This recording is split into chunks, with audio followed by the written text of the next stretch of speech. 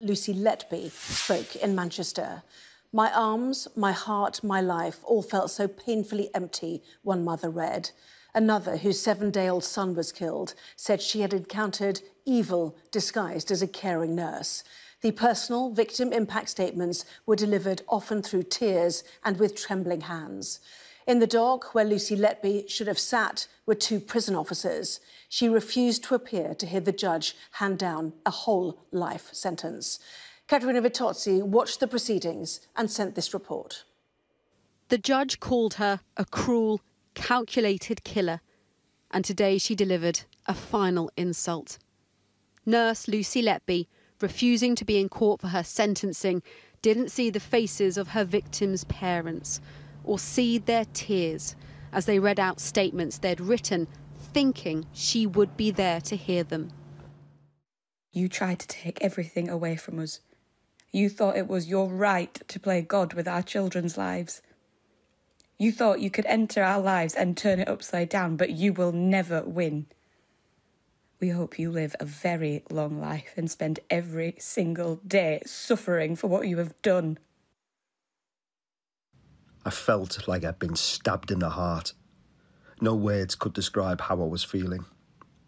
I kept wishing it had happened to me, and at that time would have gladly taken his place.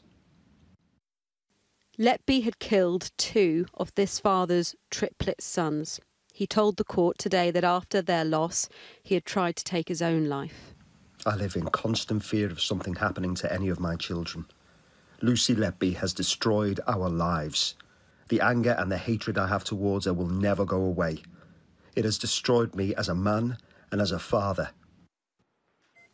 Some families had given evidence during the trial, but this was the first time they could talk about the impact of Lucy Letby on their lives, not just in that moment of attack in the hospital, but for every single day since.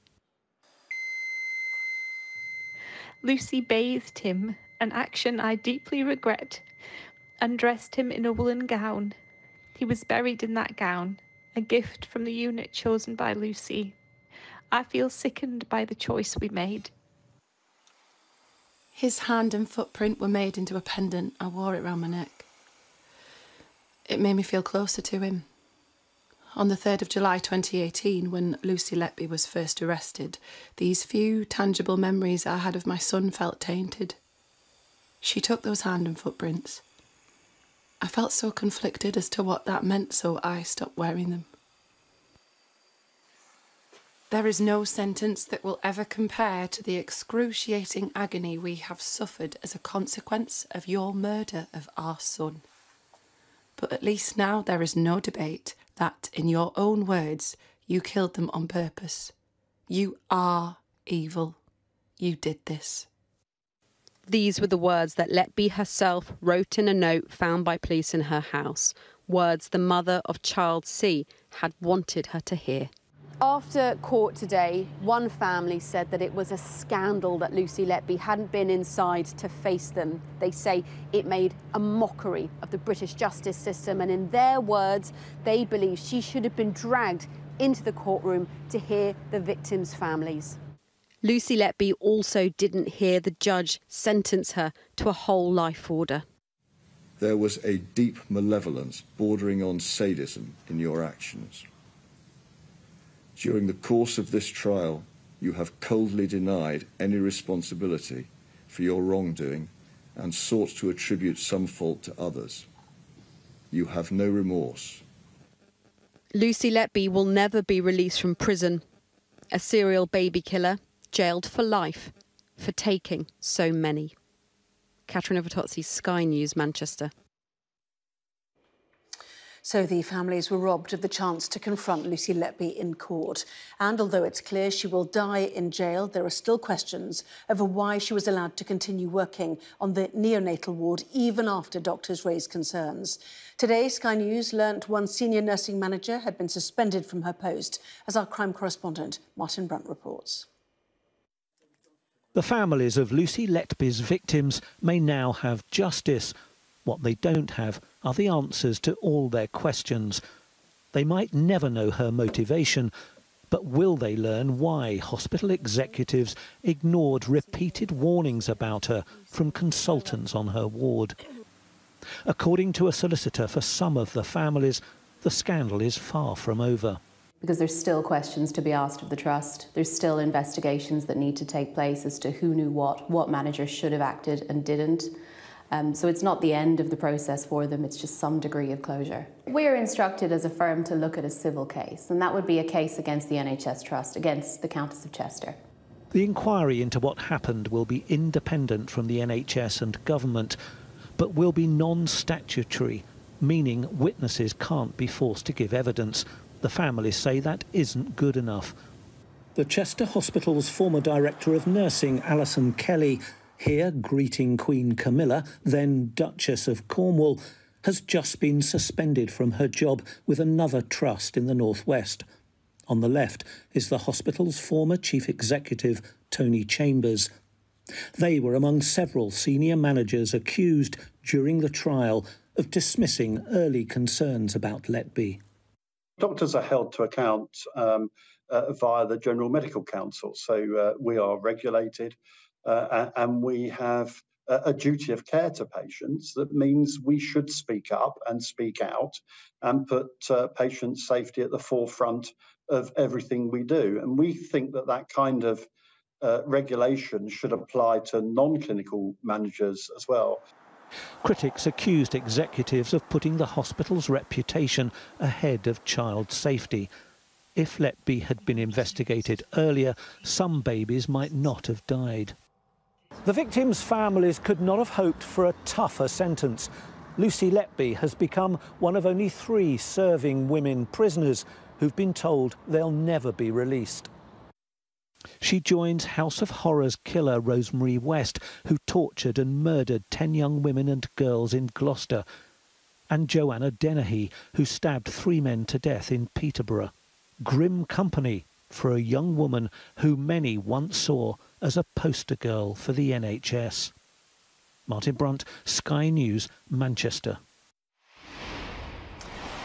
And Martin is outside Manchester Crown Court this evening. So, Martin, after 10 months, this harrowing case is over. But is it likely to be the end of proceedings?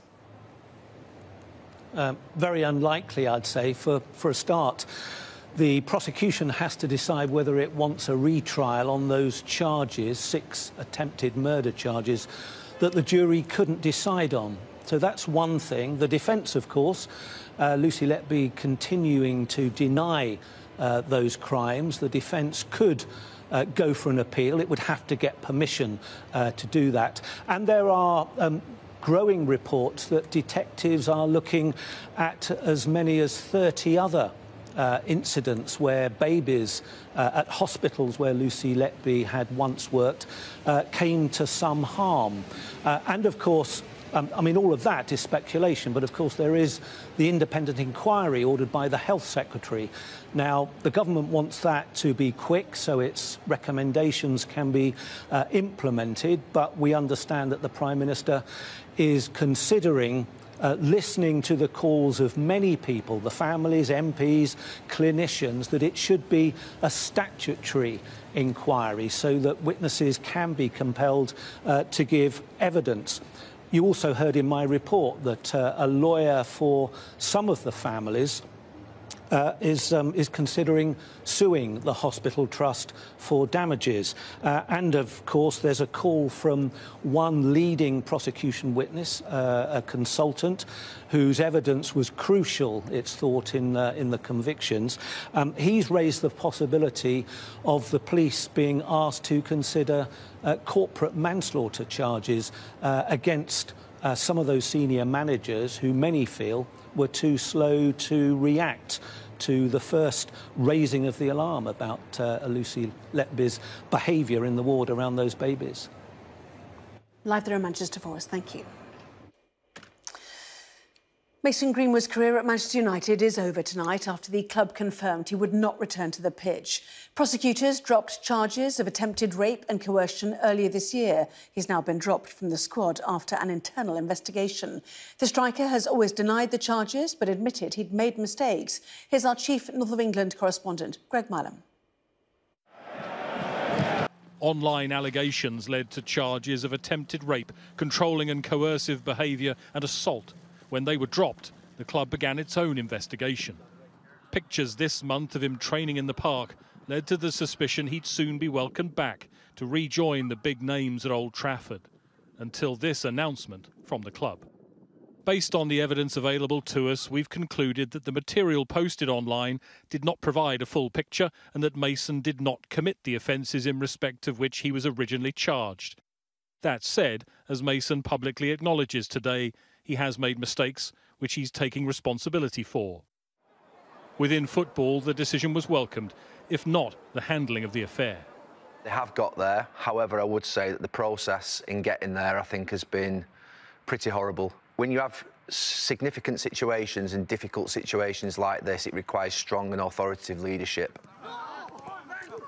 The player himself said, I was brought up to know that violence or abuse in any relationship is wrong. I did not do the things I was accused of, and in February I was cleared of all charges. However, I fully accept I made mistakes. Today's decision has been part of a collaborative process between Manchester United, my family, and me. The best decision for us all is for me to continue my football career away from Old Trafford, where my presence will not be a distraction for the club. Some fan groups had called for this outcome. It's just one of those situations where there are very few positives, even though the decision that has happened today has um, been the right one. It seems to have been made for the wrong reasons and few United fans disagreed. Right decision, to be fair. Uh, I think um, when you take into account the rise of the women's game, things like that, you don't want to look have any sort of negative impact on that. They would have lost a lot of supporters. I really do. In an open letter to fans, the club's chief executive, Richard Arnold, the man who made the decision, said this wasn't the end of the matter for United. They would continue to support the alleged victim and Mason Greenwood. The question is, where does a player with so much swirling around him even begin to rebuild a career? Is it even possible to remain in football? He is certain to remain a figure of controversy, a player who had the world at his feet, but who's learned that some things are way bigger than football. Greg Milam, Sky News, Manchester.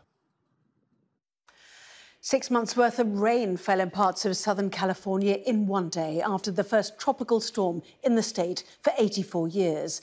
The powerful weather system is now moving through western states with 16 million people now under flood watch. Sky's US correspondent James Matthews reports now from Cathedral City.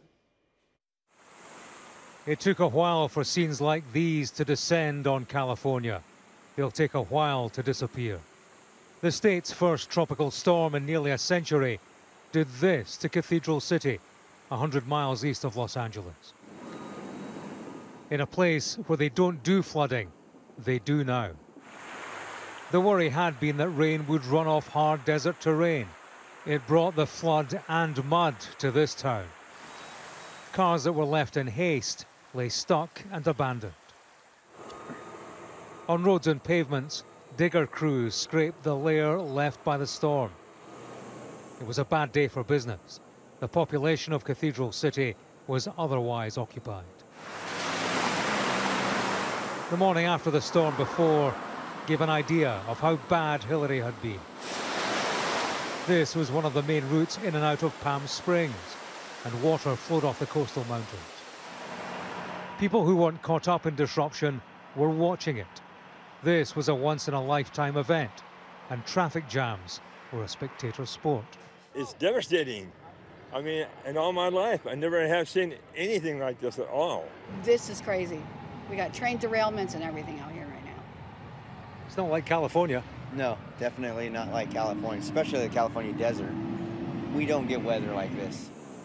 As bad as Storm Hilary was, it could have been worse. There had been predictions of catastrophic, life-threatening floods. Uh, some will say that we dodged the bullet. Uh, I will say we dodged a weather bomb. Amidst all this, there is some good news. For the first time in three years, parts of California are drought-free in the wake of Storm Hilary. It is a measure of good news, albeit amidst an increase in extreme weather events with extreme severity. James Matthews, Sky News, in Cathedral City, California. Well, from these storms in California to wildfires in Hawaii, 850 people are still missing on the island of Maui, and at least 114 people have now been confirmed to have died. President Joe Biden is expected to arrive in Lahaina, the main town affected tonight, to meet families and local officials. He's pausing his holiday in Lake Tahoe after criticism from Republicans about his initial response. Border guards in Saudi Arabia were accused today of killing hundreds of migrants, many of them Ethiopian, as they attempted to enter the oil rich country from neighbouring Yemen. The charity Human Rights Watch said it spoke to dozens of people, some who described bodies left scattered on the ground. Sky News understands an investigation is ongoing. A warning that our Middle East correspondent Alistair Bunkall's report includes details of a forced rape. This line of people snaking up the mountain path along the Yemeni border are asylum seekers from Ethiopia heading to Saudi Arabia to try and find safety from conflict. But hundreds of those migrants have allegedly been killed by Saudi border guards trying to prevent them from entering the country. The charity Human Rights Watch has documented evidence of killings and spoken to survivors. These interviews were carried out by them and voiced by actors. In my group, there were seven people, five men and two girls. The border guards made us remove our clothes and told us to rape the girls. The girls were 15 years old. One of the men refused. The border guards killed him on the spot. I participated in the rape. Yes to survive, I did it. The region is hard to access, but Human Rights Watch located a number of Saudi border posts and geolocated video footage of dead Ethiopians, some hidden under bushes, others buried in rough graves. The dangerous migration route, often referred to as the Eastern Route, spans from the Horn of Africa, across the Gulf of Aden, through Yemen, and into Saudi Arabia. Smugglers operating in Yemen take people to two informal camps before attempting to cross the border. Both camps act as holding areas with thousands of people waiting to cross the border. They report being shot at at close range and then mortared as they try to escape back into Yemen. The Saudi border guards are using explosive weapons and shooting Ethiopian migrants at close range. Um, the reason why it's so important to, to, note that these are widespread and systematic attacks is because we are saying they may amount to a crime against humanity. Last week, Downing Street announced that Crown Prince Mohammed bin Salman will visit London to meet with Rishi Sunak in the coming months. And these accusations of mass killings on the border show a brutal side to the Saudi state that critics say the government is trying to hide. Alistair Bunkall, Sky News.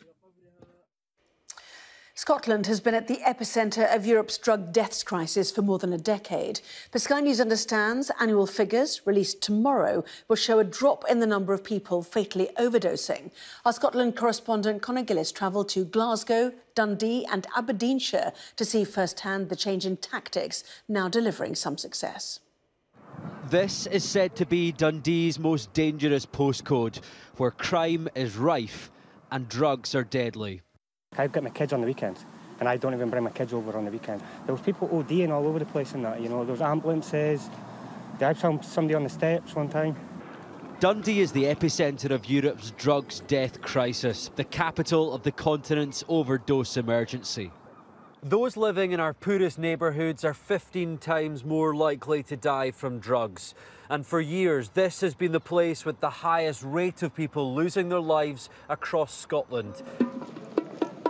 Jesse is 53, a former heroin addict, now desperate for alternatives. It's mostly crack. You know, that's like just the last couple of years, whitewashed Dundee. Eh?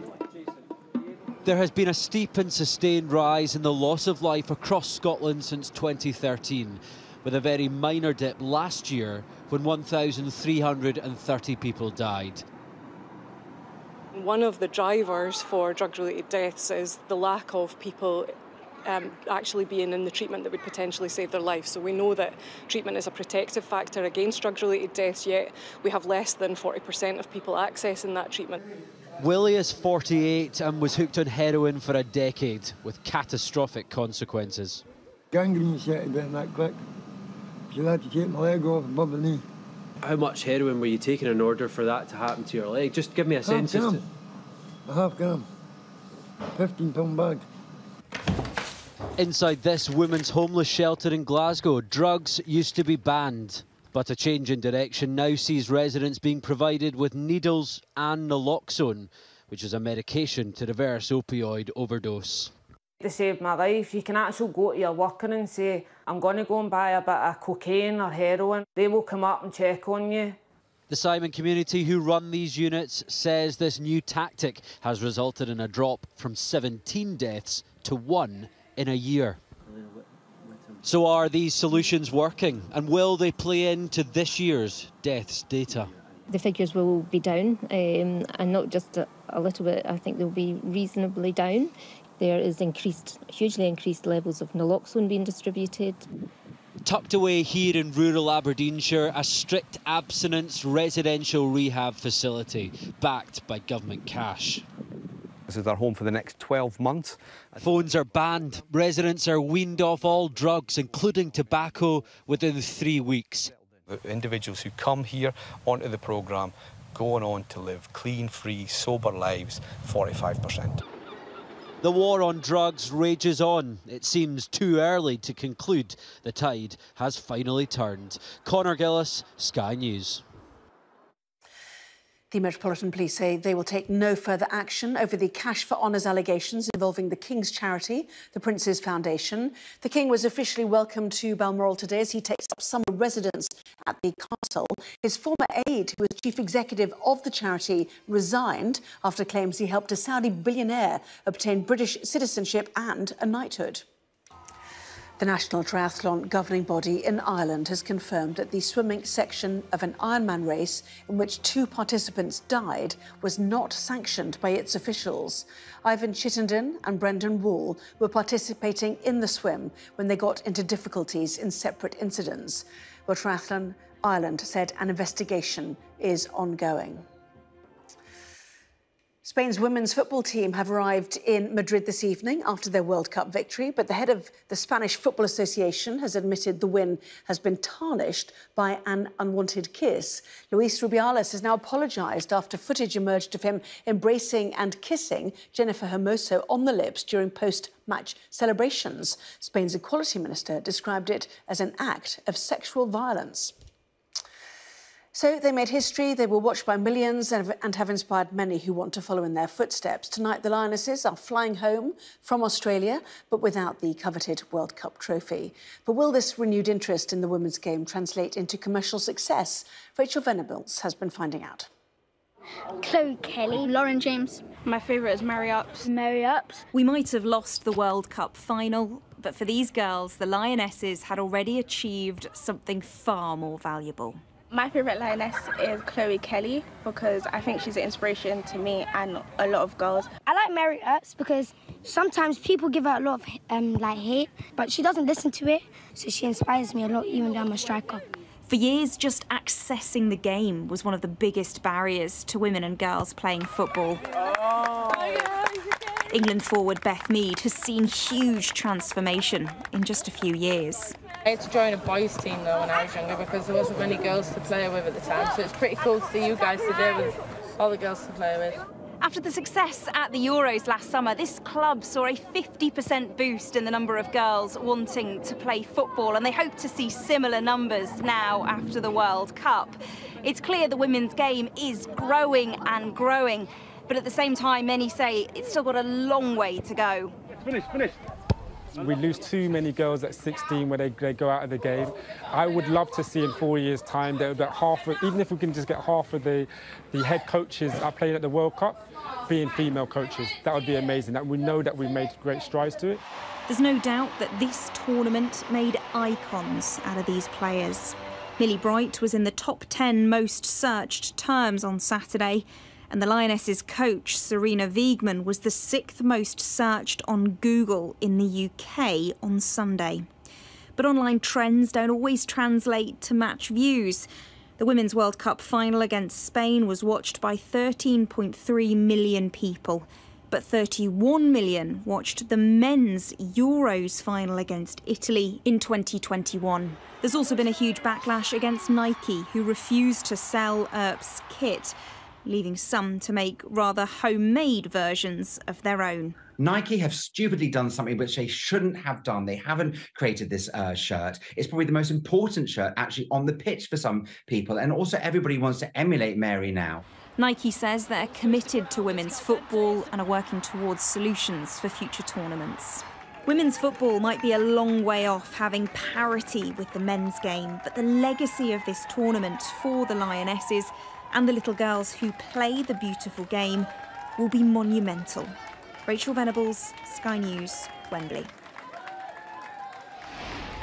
Yes, more coverage of their landing. Right now, though, let's get coverage of Joe Biden arriving on Maui, uh, on the Hawaiian Islands. Uh, here he is at Kahului um, with the First Lady Jill Biden. Um, the first stop for them will be an aerial tour of the fire impacted areas en route to Lahaina, where they'll land and meet residents affected, so badly affected, obviously, emergency teams and local officials. This comes as uh, we hear the news of 850 still missing, 114 confirmed to have died. Uh, we're told by the County Mayor, Richard Bissen, that uh, 1,200 people on the list have now been found safe but only 27 of the deceased have so far been identified, 11 families notified. And the suggestion now, the terrible suggestion, is that identifying victims could take months or even years. Such was the devastation. But to hugs, as you can see there, at that airport, uh, such a very difficult time. Um, the prospect of rebuilding, incredibly difficult. We understand the President plans to name a federal emergency official to lead long-term recovery efforts on the island uh, at some point during this visit. Um, some backlash, uh, not least by Republicans against him for coming so late, but backlash to, to local officials who did not set off that alarm system, no activated alarm system, no siren, which has partly led to such devastation. Those people cowering in the waters off the island to try and make their escape, and others who simply failed to flee. Uh, it will be no doubt an emotional visit for the US president.